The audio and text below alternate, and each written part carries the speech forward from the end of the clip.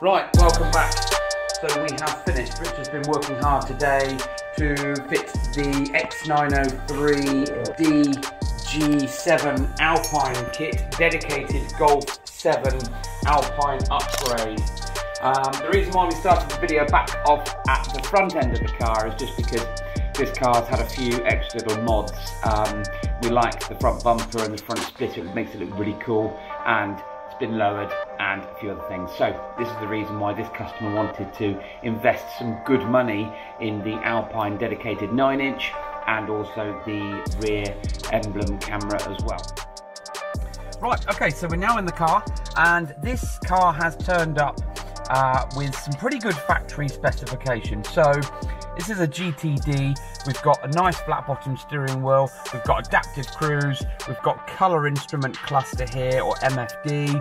And we've got the basic composition media.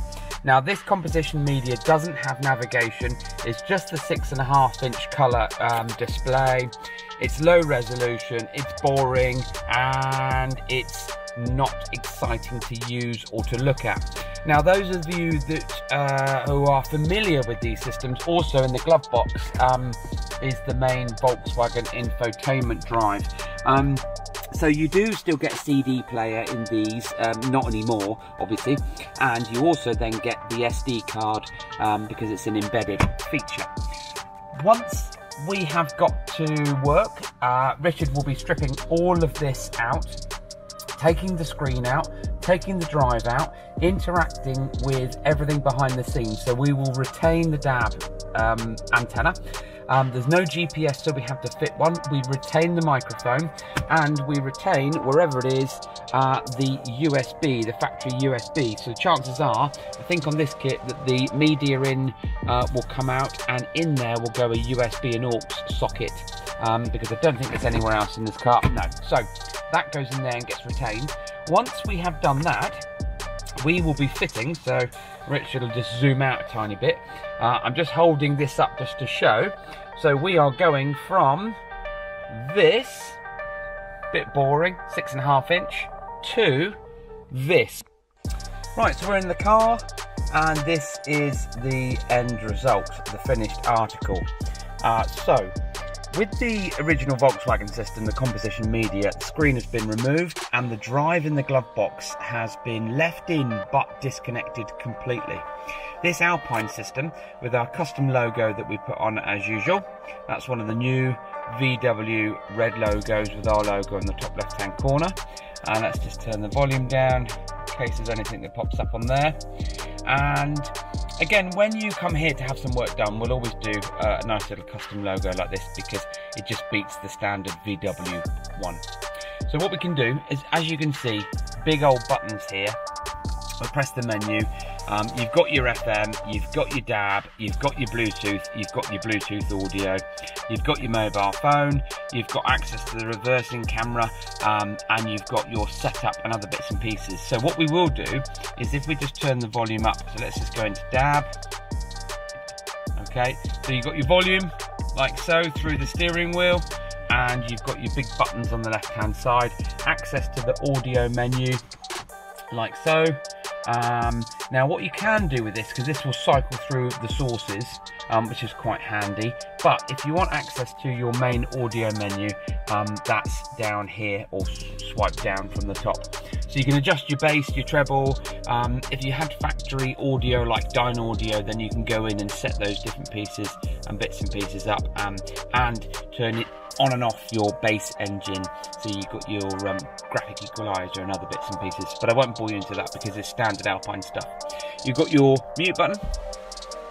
Um, and then you've got your microphone and you've got your Siri button. So if I put the car into reverse, let's just go out of this menu and go on the main menu like so. Put it into reverse. Okay, and because it's an Alpine, again with Alpine integration, what we try and do is we will give you your front and rear parking sensors and your reversing image. So this is, as I said to you, this is a genuine VW emblem camera. We can't tell it what view it gives, it gives the factory the view here. Uh, so these guidelines are fixed, they don't move because it's called a low line one. And when you take it out of reverse, I mean, this, that's that, that camera is being stretched onto a nine inch display, which of course you don't get in a normal VW but then you can tap the parking sensors and you get your rear parking sensors and you get your front parking sensors with the audible buzzer or the sounder still comes through the factory um, sounders as you would normally. And down here if Richard can just show on here because this car is equipped with front and rear factory sensors um, that will turn off automatically when you go above 10 um, miles an hour or 7 miles an hour. And you can just press a button and it zooms uh, and cuts out goes back to the main screen right so in here you've got quick access to the phone. Um, there's no devices set up at the moment. We can go in we can go into navigation. So this is the TomTom navigation that's built in. From the minute we install it and activate it, you've got three years free mapping and you get two years warranty because we're an excellent dealer and that gives you peace of mind. You spend all this money, you want to know it's going to last and perform.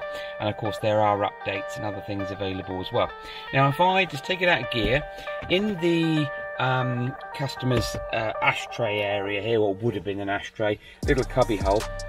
The um, what would have been the MDI, VW MDI multi-device interface um, for iPod, which is old-fashioned, and USB and aux. We've now got, if the light is okay, we've now got a three and a half mil jack and a USB. So if I was to plug in um, our little USB lead, get it the right way around, now, um, VW owners know that you can get these little really cool, they're about the same length as this, but they're really nice silver um, braided cables. I've got one in my car, it does look really nice, and you can just pop it in there and get rid of it like so. Now I'm going to plug in my uh, um, iPhone 13 Pro, um, just wait for that to kick in and see what happens. Um, you can see it's just started charging up on there. Apple CarPlay will automatically kick up over to there.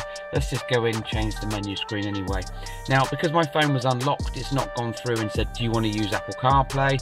I can now shut this like so, pop it in the cubby hole, press um, now Apple CarPlay is cool. I use it every day, especially on a 9-inch display like this. You can go in, you can change the wallpaper, uh, make it look a little bit more know, in keeping with the vehicle. So we've done that. It's black, like so. We've got WhatsApp, uh, we've got Waze, we've got Google Maps, Again, having satellite view on a 9-inch display is just awesome. Um, I probably wouldn't use anything other than this just because I think it's cool. Um, still has support through the GPS antenna as well. And you've got your Spotify, which is, again, go in there, listen to your music, and see what you're doing uh, and then any other apps. So I've got uh, another app on here that plays international radio stations as well. So that's it. That's Apple CarPlay. You've also got Android Auto um, built in, but it's wired. You've got your Bluetooth. So once you're connected via Bluetooth, you can also stream your music. You've got your steering wheel controls, um, and you've got um, basic setup on here. So this will give you turn-by-turn instructions on the instrument cluster, but not on CarPlay. This will do it through the um, TomTom navigation. And then if we go out of here, so we've got audio, that is telling us what we're listening to on the radio station side as well. You've got answer and end from your steering wheel, you've got voice control, and you've got your volume. So this is the fantastic Golf 7 X903D, the latest of the breed because it's the 903 and it's a 9 inch display. We've retained FM antenna, we've retained the DAB antenna, we've retained USB but added We've fitted a GPS antenna because this car didn't come with nav, but we're now going to roll out with the reversing camera, with Apple CarPlay, with Android Auto, with built-in TomTom nav. Um, and he, you know, this customer's going to absolutely thoroughly love his drive home um, and get the best out of this beautiful car. If you've got a car like this and you want something and you've got some money saved up and you want it to be the bee's knees, then get in touch with us because this is worth its weight in gold, this kit. I mean, there's even a few other features that I won't go into. Um, I think, actually, we have covered it quite a few times before, but if you've got the climate control, so for instance here, you can go in and you can change your settings. Now I know that there's the screen and there's the climate control, but if you wanted to, there's all the different settings there and you can see them changing. If we then go into heated seats, you can change, there we go, three, two, one, off, three, two, one. Again, you've got the passenger side, you've got your temperature gauge that goes up like so these Alpine systems really do integrate beautifully with the car as much as you can.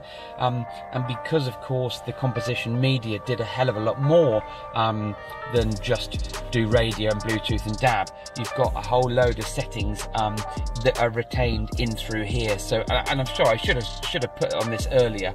Um, we do so many videos; it's, it's hard to remember everything that we talk about. So you've got your parking and manoeuvring, which you can set up your um, volumes and other bits and pieces.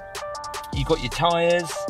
Um, and I, I, we have done loads of these videos, but what we are doing is, of course, the minute we remove that factory system, we need to retain all that information. So don't worry, it's all retained here um, as, as it would do, and it's all done via data.